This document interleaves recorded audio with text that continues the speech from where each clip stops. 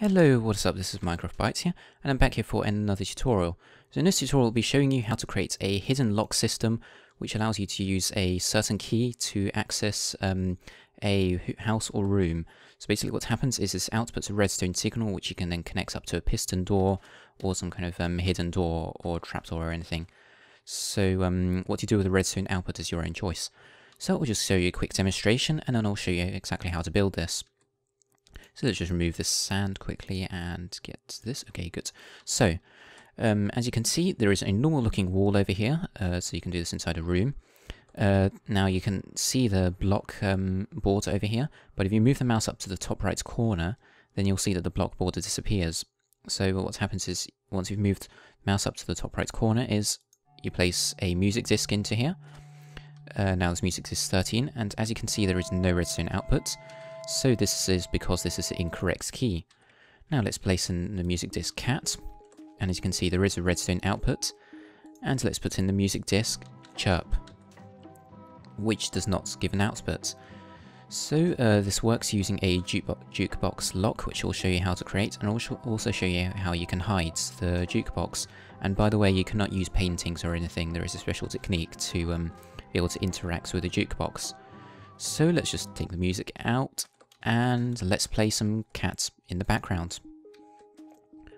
Okay, so uh, now what do we need to do? First of all, we need to find an existing room, or we need to create a wall or room. So um, three high will be uh, best. Now um, at eye level, you'll need to break two blocks. And by the way, um, uh, if this does not work for you, then you may want to retry this while facing west. Um, or if you go press F3, then it will show F for F, the value. It will show you 1, so it will show 1 over here. Okay, so it should work with um, other directions, however, um, Minecraft can be a little buggy about uh, the directions of the compass, so yeah. Anyway, uh, you need to place a stair, um, by the way, you can do this with any type of block, uh, so long as um, there is a stair for that block. So you place one facing towards you like this, and then staying in the same place, place a block over here, make sure that, that it is a corner block. So once we have done this, uh, uh, by the corner block we'll need to place a block and place the jukebox. Okay, now we'll be creating a jukebox lock. So we'll just need to create a small platform if uh, we do not have one yet, like this. And once we've done this, we'll be needing a little redstone. And by the way, as you can see in the inventory, um, these will be all of the items that you'll be needing. So what we need first is a redstone comparator. So uh, we need to place this facing away from the block.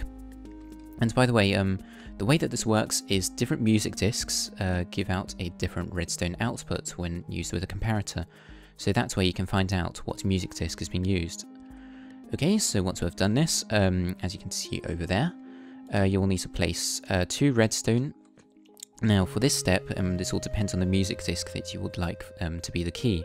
You may want to do this with a rarer music disc if you're in a multiplayer server and you do not want other people to be able to access uh, your hidden door or house. Okay, so now um, I'll just show you some quick information. Uh, if you go into the creative menu in a new world, this works in survival by the way, but in creative, you'll see the order. First there is 13. Uh, now this um, is a redstone value of 1, this is 2, this is 3, and so on. So uh, what we need to do is once we've chosen a block, for example this, this may be 2, you'll need to place amount of redstone um, like this, and then from this, um, on the final um, redstone count, so for example if it's 2, on the second redstone you'll need to put the repeater facing away from the redstone, like this.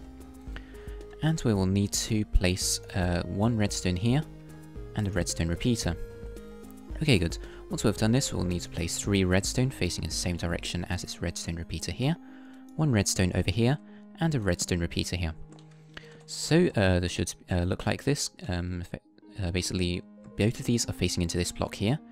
And for this block, we will go here to the original line of redstone, uh, stand here, and make this facing away. Okay, good.